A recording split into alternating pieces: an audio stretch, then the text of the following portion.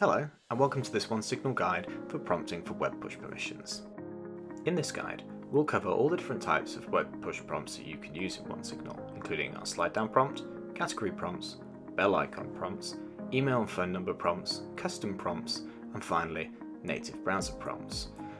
In this video, I'll be showing you how to set up each prompt as if you were using our typical site setup.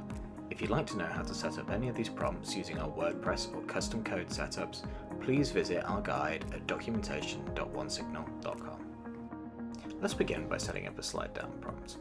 I've set up a demo page so we can see how each of these work.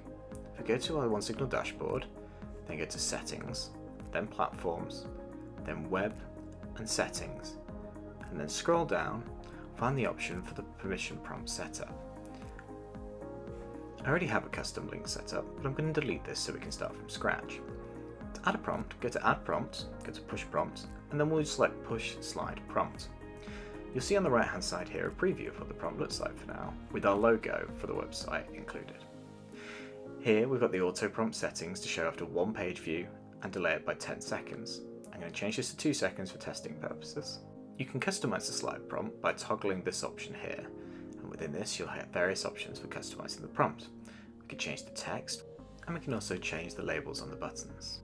After we finish customizing, we can see the preview on the right hand side either desktop or mobile view. Finally, let's click Done and scroll down to the bottom of the page and click Save. On the next page, we scroll down and click Finish. And finally, if we return to the web page and refresh the page, we'll see the slide down prompt appear. Next, let's set up a category prompt. As we already have a push prompt set up, let's edit this and turn it into a category prompt by scrolling down and clicking on Categories. When customizing your category prompt, you'll see an option for label. This is the label of the category that will appear in the prompt. The tag key is the name of the tag that will be added to the user when they select that category. Let's try adding a few in now as an example. You'll see that as we add each category, it appears on the preview in the right hand side.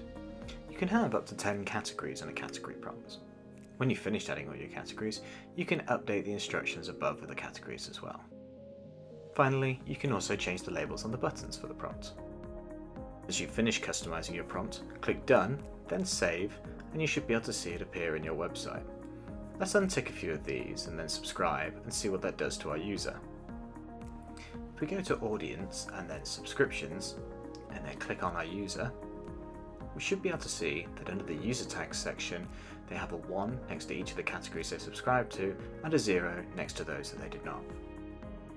Next, let's add a bell icon to our site that our users can use to subscribe and unsubscribe at will. When you choose the bell icon prompt type, you'll see that the bell appears in the bottom right hand corner of your web page. You can also see that there are some customization options for the subscription bell, including size, location, colours, and general position.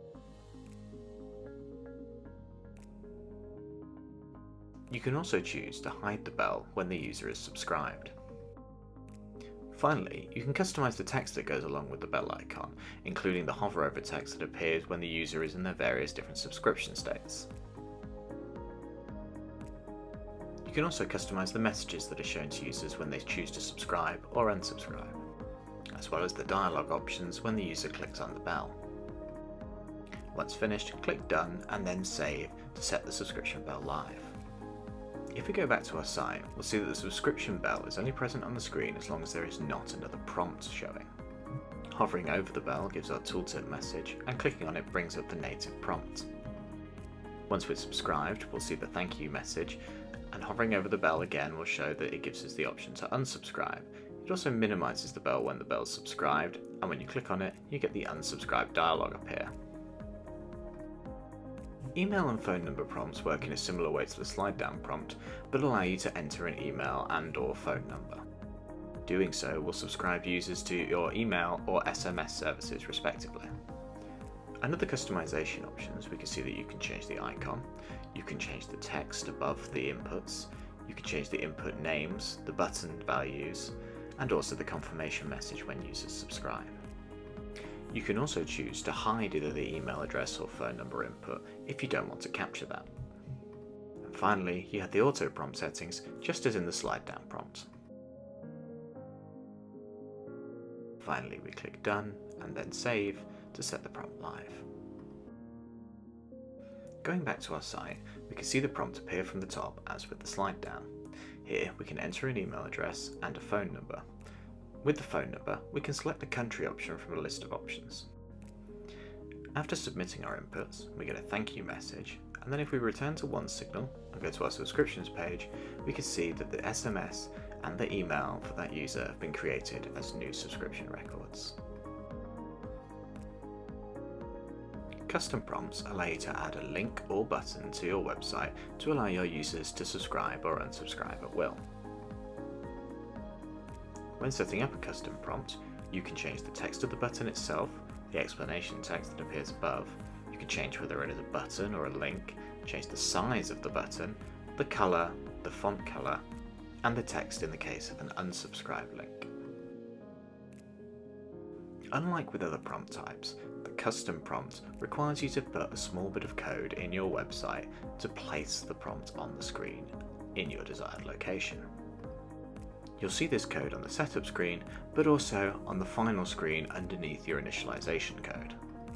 To add the prompt to your site, copy the code, and then include it within your HTML at the location you want the button to be displayed. I already have the code in my HTML page, so when I refresh my site, I can see the button appear. As with the bell icon, clicking the button shows the native prompt.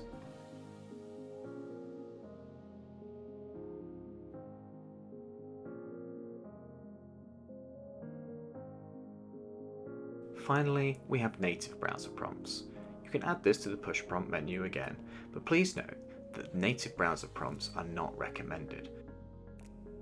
One reason for this is that several browsers will not show the native prompt if it is not triggered by clicking on something else first. Secondly, by using one of our OneSignal prompts, you can prompt the user multiple times in a way that you can't do with the native prompt. The only customization option for the native prompt is the delay before it's shown. Once you've done this, click Done, Save, and you'll see it appear on your site. Thank you for watching. For more information, visit our documentation at documentation.onesignal.com. Here you'll find more information on each of the different types of prompts, including how to set them up for WordPress and custom code sites.